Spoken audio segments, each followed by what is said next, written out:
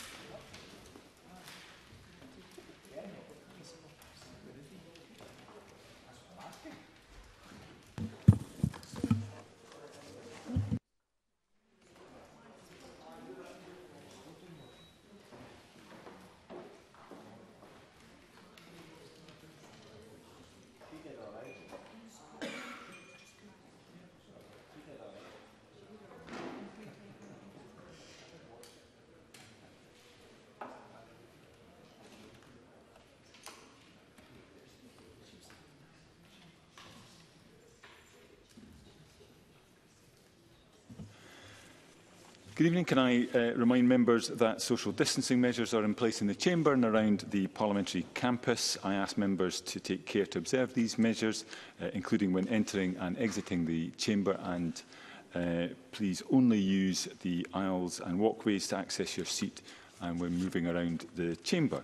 The final item of business is a members' business debate on motion 946 in the name of Karen Adam on 2020 Tokyo Paralympics.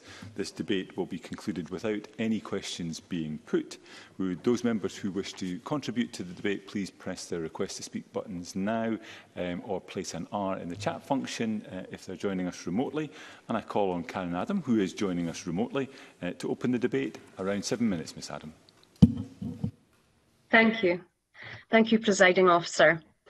First of all, I'd like to say that it's a privilege to be speaking to this motion, and I can only start by echoing the sentiments of Marie Todd, the Cabinet Secretary for Public Health, Women's Health and Sport, when she said that the Scottish athletes brought back a staggering amount of medals from Tokyo as part of Paralympics GB. She also spoke of the pride in our athletes and her hopes that they inspired others to take part in sport and perhaps participate in future games. These are sentiments that everyone can share, and I want to add my voice in congratulating all those who took part and all those who supported the athletes in reaching their full potential, their coaches, their clubs, families and others. A collective effort such as this creates a platform for, Paralymp for Paralympians to excel. And this is not despite their disability, but because of their ability. The 33 Scots in the Paralympics GB team brought home 21 medals, which is an amazing hit rate. Two gold, nine silver, 10 bronze, they all deserve recognition. But as MSP for Banffshire and Bucking Coast, I'd like to mention three individuals from the North East in particular. Cyclist Neil Fahey was one of our most celebrated Paralympians indeed one of our most decorated athletes in general. He has an astonishing number of medals from the Paralympics, the Track World Championships, and the Commonwealth Games. In Tokyo, he claimed another gold. Also, swimmer Tony Shaw is someone who has been massively successful. Recently, during the European and World Para Championships, Tony also came home from Tokyo with a bronze. The third athlete from the Northeast I want to mention is swimmer Connor Morrison from Turriff. Connor started out with the Gary Gators in Inverurie. He progressed to the University of Aberdeen Performance Programme and has been a medal winner at the World Para Swimming European Championships, also domestically. Now interviewed before the Games, Connor was realistic about his medal hopes and said he was going to Tokyo for the experience. And as he said, to put the best version of himself out there. He qualified from the heat to reach the final of the S14 100 metre breaststroke. No medal this time, but this motion is about the positive impact and inspiring endeavours that Connor and his fellow athletes have on the people in Banffshire and Bucking Coast, around the rest of Scotland and beyond. Turf to Tokyo is a story with all of that positive impact and all of that inspiration. And the same goes for every other athlete at the Games. It's not just about the medals. Now, I'm sorry to strike a somber note in this speech, but we have to be clear that it, when it comes to disabled people and sport, there are challenges too. It would be remiss of me not to mention the challenges faced by the deaf community when it comes to participation. They themselves, although unable to take part in the Paralympics unless they have another disability, still face disadvantage when it comes to participating in sports. I hope this is something I can use my platform as a child of a deaf adult, or a CODA, to highlight during my time in Parliament. On another point, just last month, the University of the West of Scotland and the Observatory for Sport in Scotland published a research paper by two professors, Richard Davidson and Gail McPherson. They shockingly revealed that only 12% of disabled children in Scotland had taken part in sport in the relevant research period, as opposed to 81% non disabled children. This gap does close to some degree in adulthood, but not nearly enough.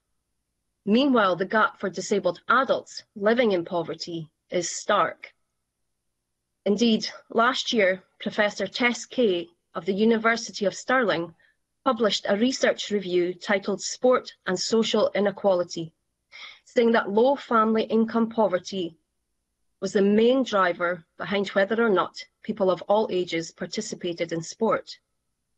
Sadly, it has long been recognised that a household with a disabled person is much more likely to be a household in poverty.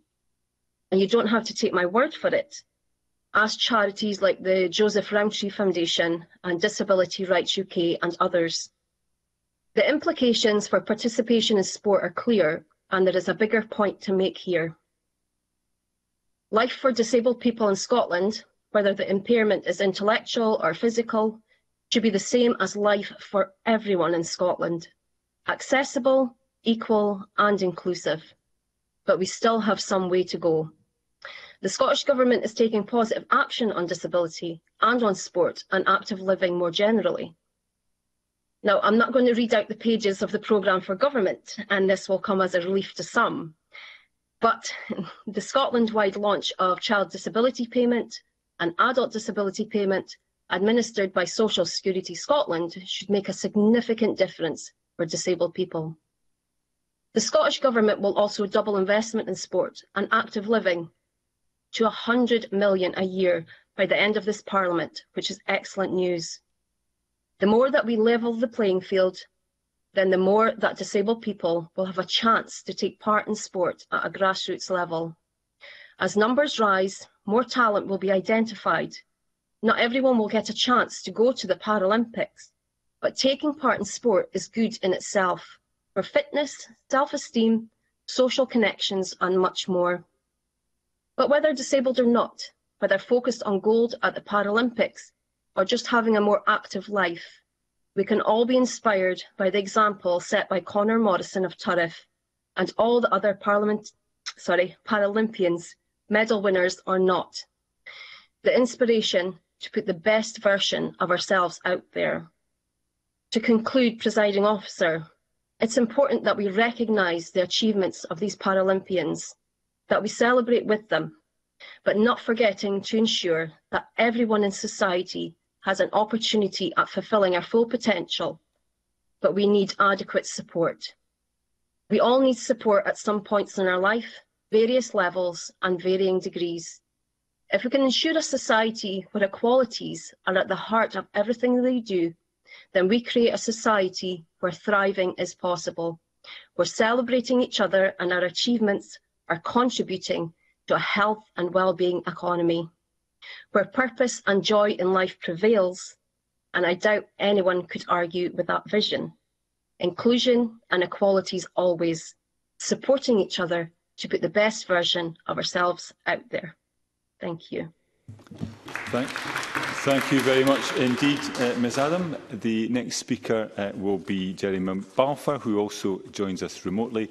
Mr Balfour, um, around four minutes, please. Uh, thank you, Deputy Presiding Officer. Can I uh, thank Karen Adam for bringing forward this debate uh, this evening? And can I also join my colleagues in congratulating the whole of the Team GB after a wonderful, this summer? We had a wide range of athletes compete across a vast number of sports, and each and every one of them has amplified the British spirit and shown the best of what our country has to offer. From our most senior and decorated representatives to those who made their Olympic debut this summer, I am sure the whole chamber will join me in communicating our utmost pride and thanks to them. It's difficult to pick out individuals, but Sarah story, who became the most decorated Palafia in history not only has a career span, an incredible eight games over almost three decades, but her honour traverses two very different sports, women and cycling. I would like to wish both Sarah and all our athletes on both games a warm congratulations. Presiding officer, I would like briefly to take a moment to draw attention to the unfortunate fact that had been notably less coverage of the Paralympics than that for the Olympics. Being a print or online, it was felt like that you have to do more work to find coverage beyond live action than you did just one month ago. Where were the athletes plastered over the front pages of the newspapers? There was nothing. The level of analysis and punditry outside of live broadcasts left many of us feeling hard done by especially after incredible boycotting efforts from a month ago. International Paralympic Committee says that they derive their name from the Greek word para, which I'm sure you know, Deputy President Officer, means either beside or alongside, inferring that the two games exist as peers. As wonderful as the Paralympics have been this year, it is clear that the name is not yet to be lived up to and I'm sure that everyone in this chamber will join me in looking forward to a more inclusive future, not only in three years' time in Paris, but in continuing support for different activities and sports. Finally, Deputy Presiding Officer, I would like to make one uh, final point. That is to remind uh, those, and I'm sure most of us don't need reminding, that an athlete is immense for what they do. Too often people compare apples with oranges. How often have I heard the comment, if an athlete with an amputee leg can run 100 meters in X time, why should disabled people be given benefits instead of just getting a job? This represents a way of thinking that reduces any kind of worth that a disabled person could have to the ability to excel in either the sports world or in full-time employment. These kinds of comparisons are similar to wondering why every able-bodied person can't run a sub 10 second 100 metres when Usain Bolt can do it. The reality is that humans all have different abilities and excel in different fields. Disabled people's contributions to society are varied and individual, special, and are not also are not also sorry and are not necessarily quantifiable by their place in the permanent workforce many disabled people do a lot of volunteer work because that kind of low intensity job is much more suited to their needs and abilities. And of course, it would be difficult to argue that society could function without the contribution of our amazing volunteer sector, and yet it often doesn't get the same recognition. In short, presiding officer, I would encourage people to think twice before making such comments in the future and consider would just, as they might do, compare use boat to a disabled person, not wishing to be compared to Sarah Story and her teammates. We all contribute differently to society, and we must recognise the fact and accept that different people have different metrics of success. In conclusion, let me again congratulate everyone that took part in Paralympics. Wish them success in regard to what happens next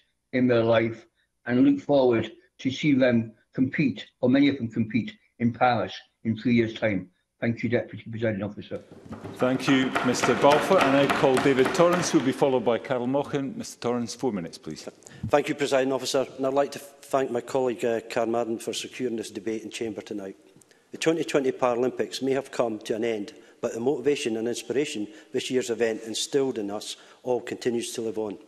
The core Paralympic values at the heart of Paralympic movement are courage, determination, inspiration and equality. And there was certainly an abundance of each of these values in display in Tokyo this year.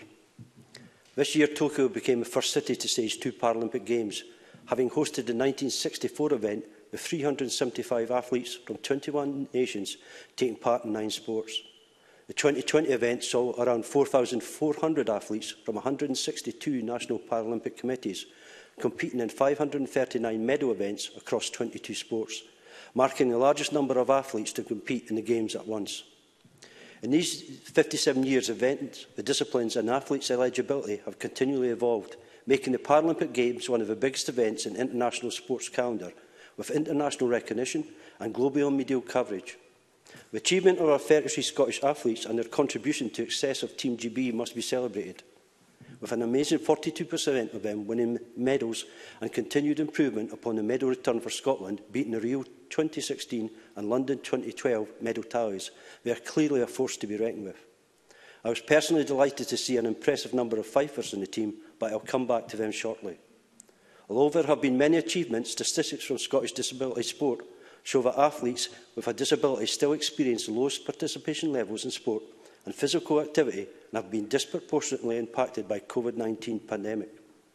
It is therefore imperative that we build on the positivity of the 2020 Summer Games and work on meeting the individual needs of disabled people to increase engagement in physical active and activity and sport.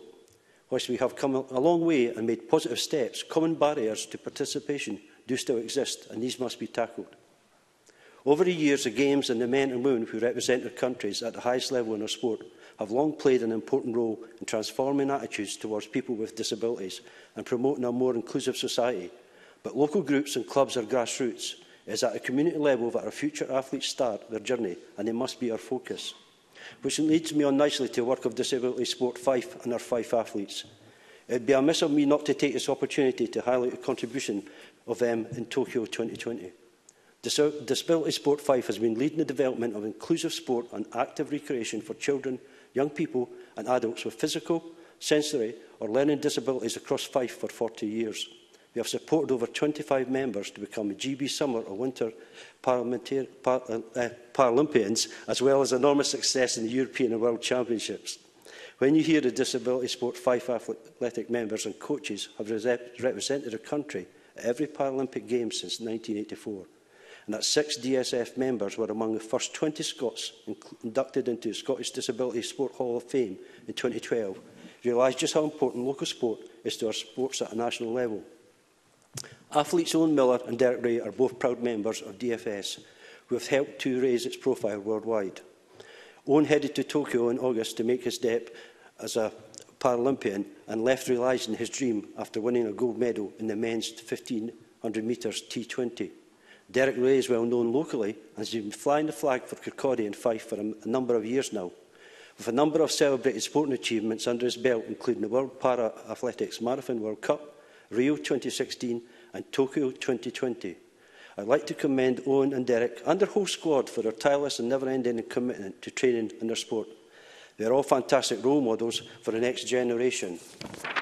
In conclusion, presiding officer, while stereotypes and judgments are still reality for far too many people living with disabilities, the Paralympic Games continue to play a fundamental role in challenging close-minded attitudes about differences by promoting inclusivity and setting a new benchmark for what is thought to be possible. I look forward to the next decade bringing about even more positive change and increased participation as we continue to work together to break down barriers and provide more opportunities for all of our future Paralympic athletes to get out there, find the sport they love and fulfil their potential. Thank you. Thank you, Mr Torrance. I now call Carol Mochen, who will be followed by Brian Whittle. Ms Mochen, again, four minutes. Uh, thank you, Deputy Presiding Officer. And can I also congratulate Karen Adam on securing this debate? The Tokyo Paralympics were as exciting and inspiring as ever, bringing to an end, uh, bringing an end to a summer of sport in the most remarkable of ways. It was great to see Team GB perform so well, coming second in the medal table with an excellent 124 medals, with the 33-strong Scottish contingent contributing 21 of those, um, the best performance by Scots at a Paralympic Games since Sydney 2000 winning medals in 18 of the 22 sports. Team GB really have highlighted the wide array of talent we have at our disposal, succeeding at the highest level and competing against the very best. We should be so proud of all our Paralympians for the effort they and their teams put in during the most difficult of times, and they should be congratulated as we're doing this evening. Deputy Presiding Officer, our Paralympians truly are inspirational. Many of them have faced adversity in childhood or perhaps in later life, but all have overcome barriers that in years gone by would have perhaps stopped them for, from participating in sport. And it is encouraging that sport in 2021 is so inclusive. We have a long way to go, but these games showcase the very best talent, talent that comes from years of hard work and often from people with numerous setbacks. I believe more people are recognising the importance of the Paralympic Games more now than before and I consider it crucial that we continue to highlight how vital this breakthrough is and how we should break down these barriers and tackle stigma. There is, of course, still work to be done. We have to ensure sport is accessible to everyone, and that means making sport accessible to disabled people, ensuring ensuring that having a disability does not act as, an as a barrier to individuals' ambitions and opportunities. Indeed, more investment is needed in inclusive sports to ensure no one is left behind. And it is the responsibility of us as politicians, of the media, of wider society to highlight the positive impact that sport can have. It is our collective responsibility to do this because, as mentioned in the most emotion, events such as the Paralympics bring people together, bring sports uh, together, and it's and to undervalue the positive impact of sport has on our society um, would be a mistake. Uh, eh, the RNIB Scotland, ahead of today's uh, debate, set out some key asks, including increasing funding for disabled sport, including sports adapted for people with sight loss, um, and from uh, from things like tandem cycling, guided running, from the introductory session of classes for more, to more advanced participants. This should act as a reminder to us that there remains a long way to go to ensure that sport is accessible for people with a, from a wide range of disabilities. Moreover, Sport Scotland, who have invested around £3 million into Scottish disability sport since the Rio Olympics in 2016, note that disabled athletes still face significant challenges that require joint working for us to overcome. Deputy Presiding Officer, the Tokyo Paralympics was a celebration of talent, diversity, inclusion and community. And I think we can all agree it was a joy to watch. And it was a joy to see Team GB, as we've all said, their coaches, their families and all the volunteers from local community sports centres and clubs deserve a great deal of credit for making the sacrifices they have to bring us such success. It is right that we have this opportunity to uh, commend the success today. Uh, and I want to end this debate by saying that rather than a, but, but rather a, this is a stepping stone towards ensuring this Parliament gives sport the consideration it deserves and the investment that sport and inclusive sport should have. Thank you. Thank you, Ms Mochan. I now call Brian Whittle, who will be followed uh, by Martin Whitfield. Uh, Mr Whittle, four minutes. Uh, thank you, Presiding Officer. And can I uh, start also by congratulating Karen Adams for securing time in the Chamber for this debate. And thank you for giving me another opportunity to talk sport in this place. Two weeks in a row, my cup runneth over. Um, I, I spoke last week in my own members' debate highlighting the, the incredible achievements of all the athletes in the Great Britain and Northern Ireland team, both in the Olympics and in the Paralympics. And I also talked about the huge contribution to Great Britain and Northern Ireland team made by Scotland.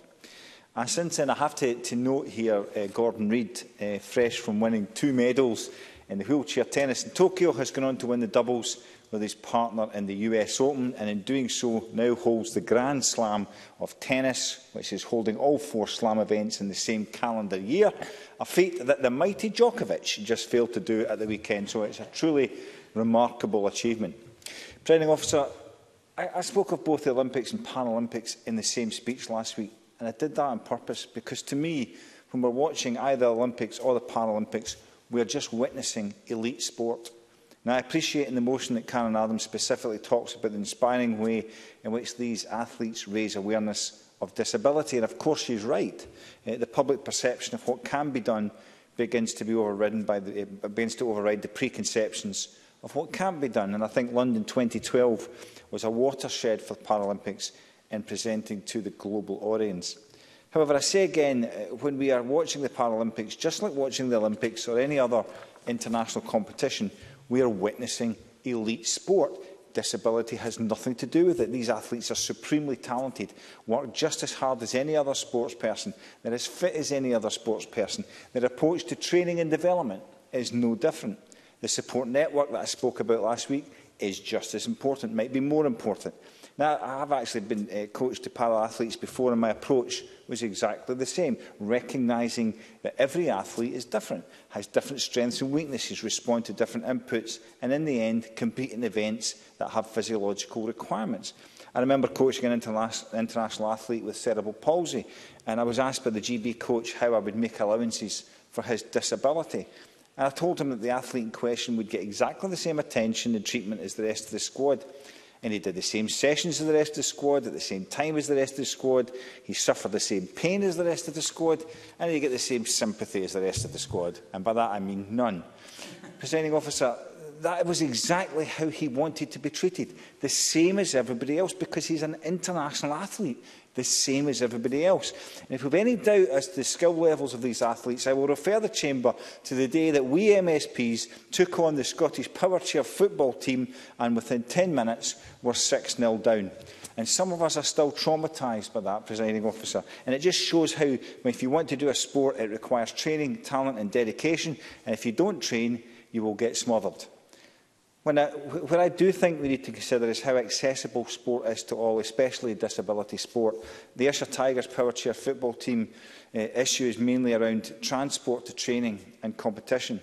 There are players who want to participate but have no means of getting around. And we discussed last week the importance that physical and mental, eh, physical and mental health that sport and activity has on participants. So I think we have a duty to, duty to enable that participation. And as I said last week, I believe that sport is grossly underfunded in this country when we look at the, the, the amount we spend on health and education. Finally, Presenting Officer uh, Christine Graham last week highlighted the disparity of support between Olympic and Paralympic sport. And of course, Again, she's right.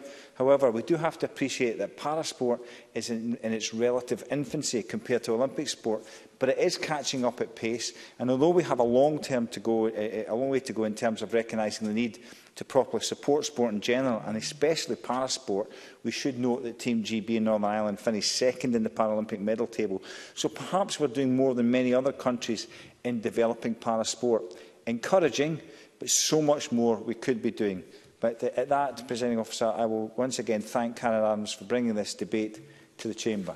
Presiding Officer. Thank you very much, uh, Mr Whittle. I would, I would caution you against revealing the scores and performances of the Scottish Parliament uh, team, football team. Uh, the, the risk of reputational damage, I think, is, is high. Uh, I call now Martin Whitfield, who will be followed by Stephanie Callahan. Uh, four minutes, Mr Whitfield. I'm very grateful, Deputy Presiding Office, and it's a great pleasure to follow Brian Whittle, although I think I would make mention, I think there was a young lady who did remarkably well at the tennis re recently, um, who probably deserves mention, and my thanks to Karen Adams for bringing this debate today. Um, The Paralympics date back to 1948 when it was the Stoke Mandeville Games. They have been around a long time, becoming the Paralympics in 1960. And like so many people here today, I want to extend my thanks to the coaches and to the families and to all of the supporting organisations that sit round our Paralympians. But I do want to put on record my awe, and I do mean my awe, at the achievements of Samantha Kinghorn, of Libby Clegg, MBE, Stephen Clegg, Mickey Yule and Maria Lyle. And I would like to take the short time that I have to draw attention to Maria Lyle because her place in East Lothian history is already written. Um, if you look at her Twitter account, which I use today more for, for humour than research, she calls herself the average Scottish lassie with dodgy legs. She then just happens to put that she is, of course, Paralympic, World, Commonwealth and European medalist, which is not bad. Her mum was a PE teacher, and at primary school, um, her mum got her to do the bleep test, which is a sort of fitness program. And she says of it, I managed to finish the test and be the last one standing. This was the first time I ever felt that feeling of success and being good at something, and I've never looked back since. Well, I can tell you as a former primary school teacher, with authority, the bleep test is not easy. Um, she won the first GB uh, athletics medal at Tokyo, securing the bronze in the women's 100 metre T35. But she began at the age of nine with Dunbar Running Club, and she began competing locally and nationally in sprint events. And in July 2012, at the mere age of 12, she posted a world record time of 32.37 in the 200 metres at the Birmingham Games. Sadly, unfortunately, it couldn't count because she was only 12. So she was too young to have a disability listing. That had to wait.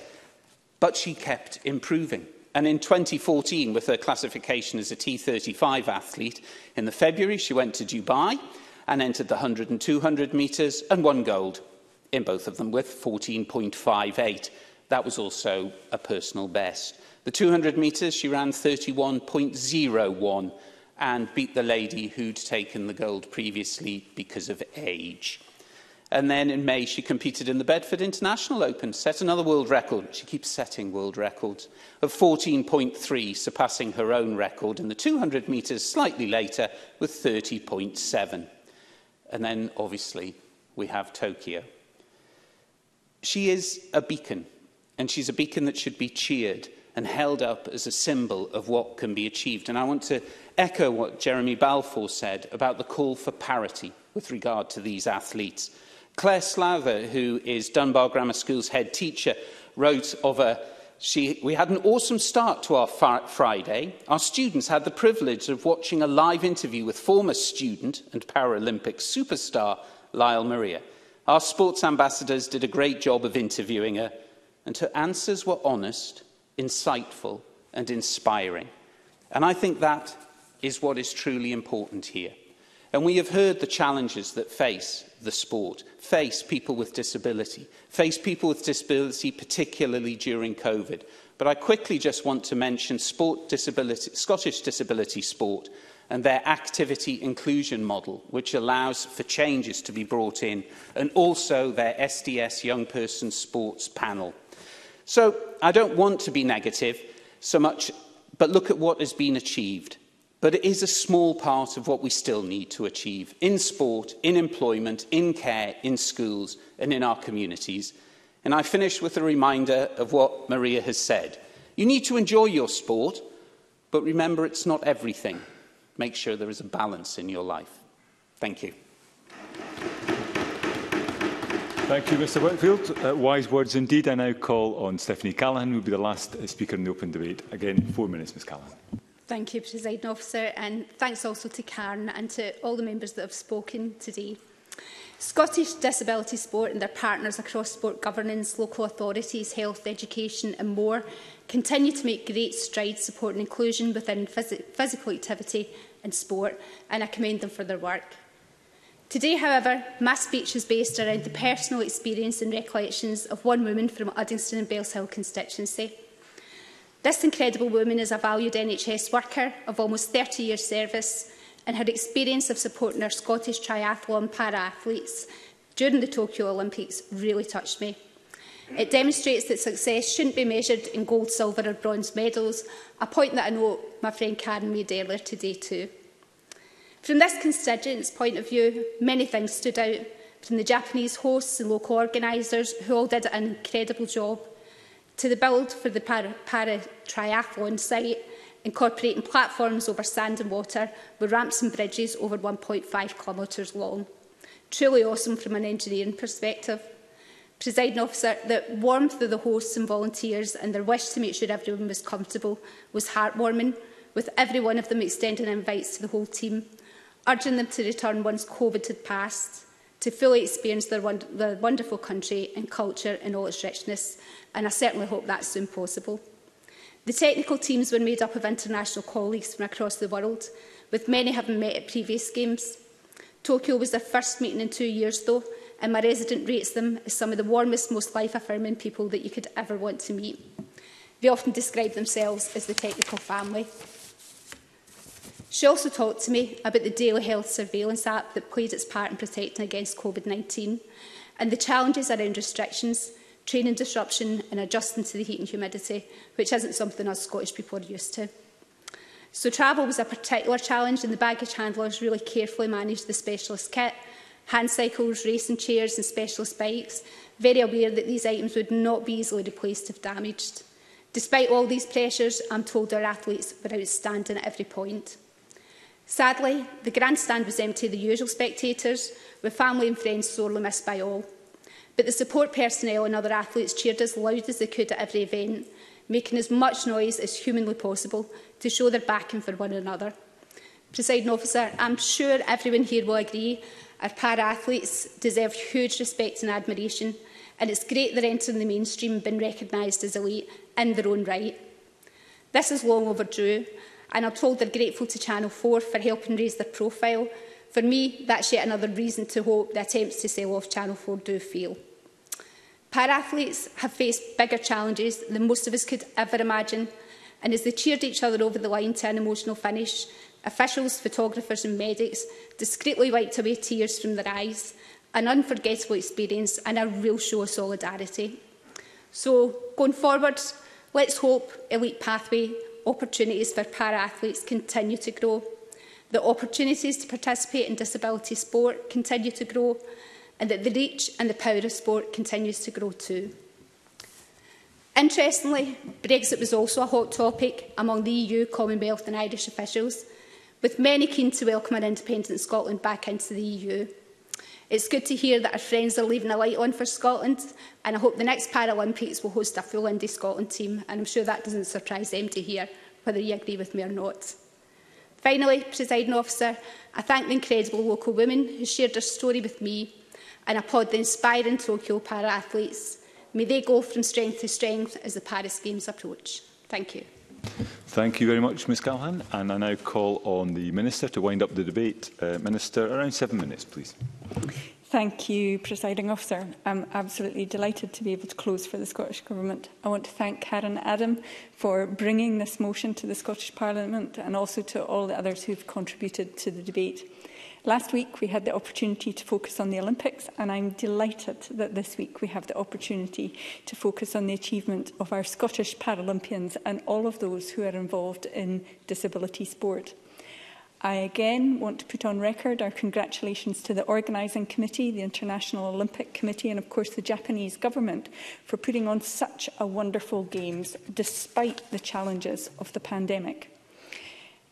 As others have mentioned, Scottish athletes on Paralympics GB made history at the Tokyo 2020 Paralympic Games by winning an amazing 21 medals. That's greater than the number of medals won at both the London 12 and the Rio 2016 Paralympic Games, and it's the highest number won by Scottish athletes since Sydney in 2000. I want to give a special mention, as others have done, to Finn Graham from Strathpeffer in my own constituency, who won silver in the C3 3,000 metre individual pursuit, as well as silver in the C13 road race. What an achievement. And of course, these performances and medals are a result of years of hard work and commitment from the athletes, their coaches, and their wider support teams. I live in Strathpeffer and I have watched Finn grow up. He went to school along with my children. What is particularly pleasing is witnessing firsthand that connection our communities feel with our athletes. We see the years of work, we feel a part of it, and we are inspired by them. And what's happening in my home village in Strathpeffer is being replicated all over Scotland because, as we said, Scots punched above our weight on Team GB this year. So that pride is being felt in many communities right across Scotland. I want to take the opportunity to thank our sporting governing bodies, Scottish Disability Sport, Sport Scotland, including the Institute for Sport, UK Sport, the British Paralympic Association and the National Lottery for their continued work to support our athletes as we know, and it's a subject that others have mentioned today, disabled athletes often face significant challenges above those faced by non-disabled athletes. Sport Scotland created the Para Initiative Group in 2017 to improve the opportunities for para athletes and to enable more para athletes to in, make progress in performance sport. Sport Scotland's corporate strategy, Sport for Life, celebrates how everyone in Scotland can benefit from sport and sets out their commitment to inclusion. A key element for improving sporting opportunities for all disabled people is our relationship with Scottish disability sport. Scottish Disability Sport is the coordinating body for all sports for people of all ages and abilities with a physical, sensory and learning disability.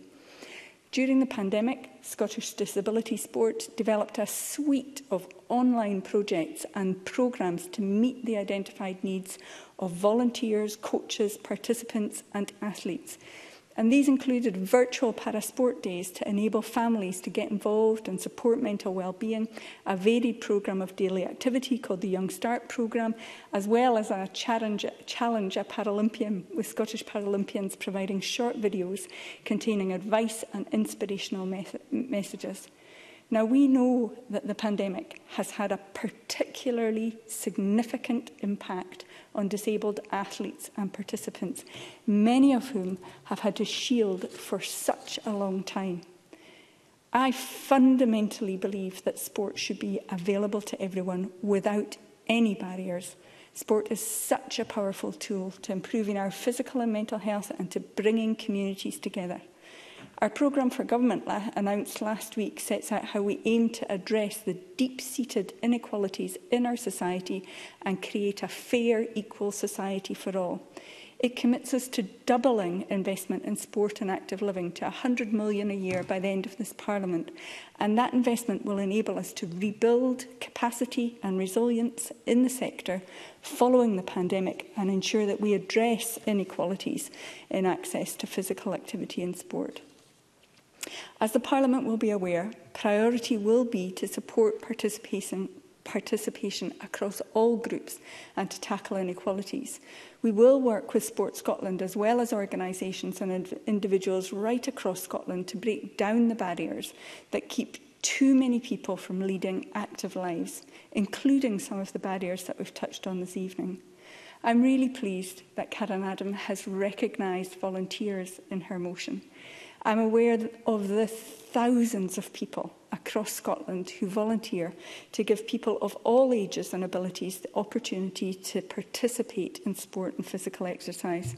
Sport clubs are often in a unique position in communities and since becoming minister I have been so impressed with the conversations that I've had with the sector about their commitment to breaking down those barriers to activity that exist. It's often volunteers and clubs in a variety of roles that contribute to breaking down these barriers and help to make sport and physical activity accessible for all. In conclusion, presiding officer, I want uh, once again to thank everyone involved in Team GB, our inspiring Paralympic athletes, our sporting sector, and especially to the thousands of volunteers making a difference every week.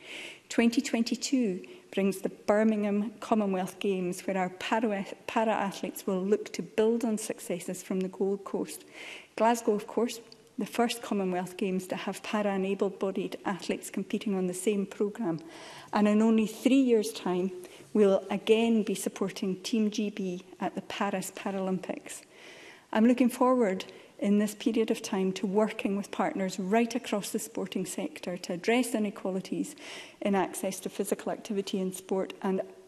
our aspirations to become a more active and healthier and fairer nation.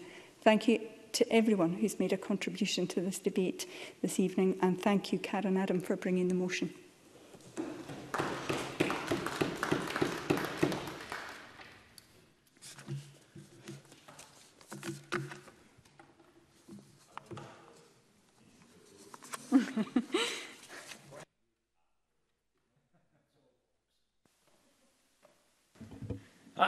we go. Excellent. Um, thank you very much indeed, uh, Minister. Thank you, Ms Adam. Uh, that concludes the debate and I close this meeting.